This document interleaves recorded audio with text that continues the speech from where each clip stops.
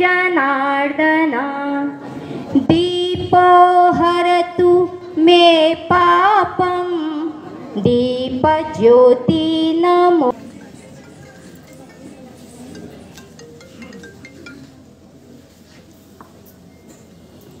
देह रहित जीवन अपनी मंजिल तक नहीं पहुँच पाता है। संस्कार भारती अपनी साधना से और अतिथि देवो भवा। कहती भारत की धरा और स्वागत करके आपका निभा रहे हम परंपरा। अतिथि सम्मान की श्रेणी में सर्वप्रथम जो सीने में जुनून आँखों में देशभक्ति की चमक रखते हैं, सीने में जुनून आँखों में देशभक्ति की चमक रखते हैं और दुश्मन की साँसें थम जाएँ, आवाज़ में वो धमक रखते हैं। अखिल भारतीय आतंकवाद विरोधी मोर्चा के अध्यक्ष श्री मनिंदर जीत सिंह बिट्टा जी आज हमारे मध्य मुख्य अतिथि के रूप में उपस्थित हैं। आप मात्र नौ वर्ष की उम्र से ही सामाजिक कार्यों में और राजनीति में आ गए थे। आप भगत सिंह जी के जीवन से बहुत ही प्रभावित रहे और उन्हीं की तरह जीवन जीने का आपने निर्णय लिया।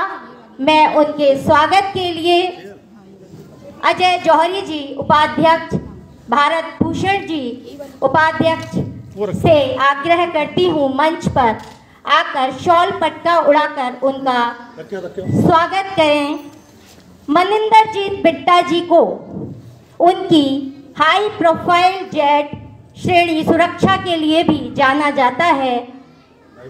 उनके ऊपर अनेकों बार जानलेवा हमला होने के कारण उन्हें ये सुरक्षा प्रदान की गई है।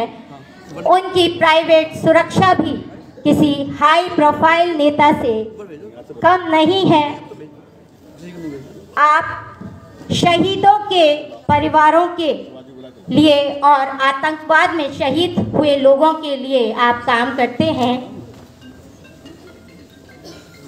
बोला गया, उन्होंने सुना नहीं है। एक बार कल करतल ध्वनि से गुंजायमान कर दीजिए सदन को। बिट्टा जी के स्वागत में।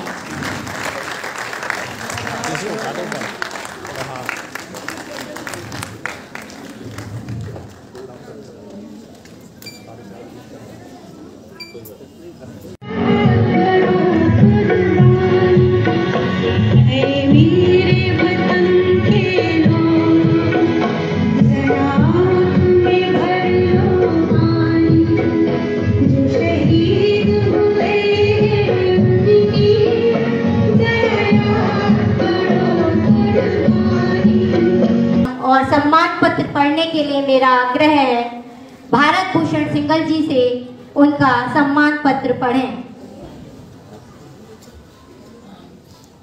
ब्रज का कण भगवान श्री कृष्ण की वीरता के इतिहास का साक्षी है। यहाँ के पौरुष प्रधान पुत्रों द्वारा वीरता का इतिहास लिखा जा रहा है।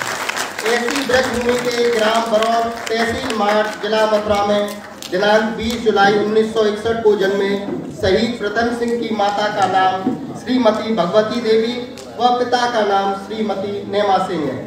शिक्षा ग्रहण के समय ही आपका चयन 17 अक्टूबर उन्नीस को भारतीय सती भगवान देवी से हुआ। ऑपरेशन पवन के अंतर्गत प्रथम सिंह राइफलमैन श्रीलंका में पॉइंट सेक्शन को लीड करते जाफना में तैनात थे। जहाँ एलटीटीई की बहुत पकड़ मज़बूत थी और आगे बढ़ना बहुत कठिन था। किंतु आप बहादुरी से अपने साथियों के साथ भारी क्रॉस फायरिंग में रक्तपात के बीच आगे बढ़ते जा रहे थे। इसी मुझे कुछ कमी नज़र आ रही है। अगर आप मान पढ़ने के लिए भारत भूषण जी से मेरा आग्रह ब्रज की पावन भूमि में ग्राम गढ़ी रामबल तहसील महावन जिला मथुरा में दिनांक 14 जुलाई उन्नीस सौ बयासी को जन्मे शहीद नेम सिंह जी की माता का नाम श्रीमती रामवती देवी व पिता का नाम श्री महावीर सिंह है। दाऊ जी में शिक्षा ग्रहण के उपरांत आपका चयन भारतीय सेना की 20 रेजिमेंट 20 जाट रेजिमेंट में हो गया। आपकी वीरता व पराक्रम के कारण बटालियन में आपका बहुत सम्मान था। आपका विवाह दिनांक 6 मई 2007 को श्रीमती सीमा देवी के साथ हुआ। ऑपरेशन रक्षक के अंतर्गत जम्मू कश्मीर में तैनाती के दौरान तंगदार सेक्टर में 8 नवंबर 2018 को संतरी ड्यूटी पर तैनात थे। तभी पाक की ओर से भारी फायरिंग में गोलाबारी शुरू हो गई। कमांडिंग अफसर को सूचित कर बहादुरी से जवाब दिया किंतु एक गोला सीधा पोस्ट पर गिरा और लड़ते हुए नायक नेम सिंह शहीद हो गए। उस समय आपकी पुत्रियाँ नीतू नौ वर्ष, खुशी छह वर्ष, खुशबू पाँच वर्ष तथा पुत्र मात्र अठारह माह का था। संस्कार भारती मथुरा महानगर, ऐसे मौत का कफन बाँध करके अपनी सीमाओं की रक्षा के लिए, अपनी मातृभूमि की आज़ादी की रक्षा के लिए निकलता है। जो कहता हुआ निकलता है, एक शाम चिरागों में सजा रखी है। शर्त लोगों ने में हवाओं में लगा रखी है। अंजाम की भी हम परवाह नहीं करते, जान हमने भी हथेली पे उठा रखी है। और वो मातृभूमि की सीमाओं की रक्षा करता हुआ शहादत का जाम पी जाता है। और उसके बाद अपने ये छोटे छोटे बच्चे, अपनी पत्नी, अपने माता पिता वो सदा के लिए छोड़ करके अमर हो जाता है। सवाल सबसे बड़ा ये है, इसमें कोई शक पिछले कई साल से हमारी राजनीतिक गलतियों से हमारी देश की गंदी राजनीति को लेकर के।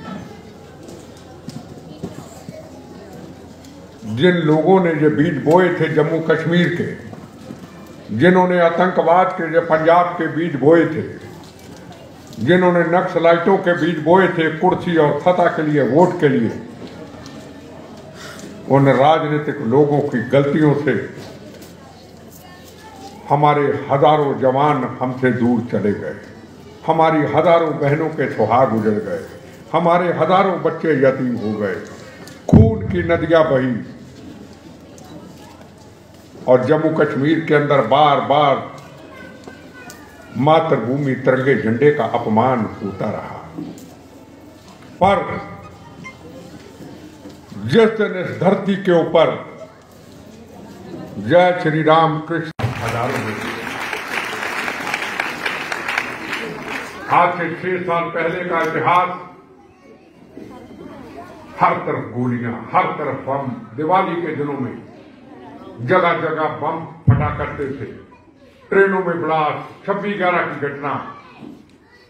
पार्लियामेंट पे अटैक। जयपुर के अंदर एक, दिन के अंदर 120 लोगों का शहीद हो जाना। किसी माँ को यह नहीं पता होता था, मेरा बेटा पति घर से निकला है, वापस आएगा या नहीं आएगा। पर जब नरेंद्र मोदी जी आए, मैं बीजेपी का नहीं हूँ, पर मेरे लिए प्रथम राष्ट्र है। जो व्यक्ति प्रथम राष्ट्र के लिए सोचे और ये कहे, तेरा वैभव अमर रहे, माँ, हम दिन चार रहे ना रहे, हमें वोट सदा मिले ना मिले, कुर्सी मिले ना मिले। पर हे भारत माँ, तू हमेशा अमर रहे, तू हमेशा सुरक्षित रहे, हमारे जवान हमेशा सुरक्षित रहे।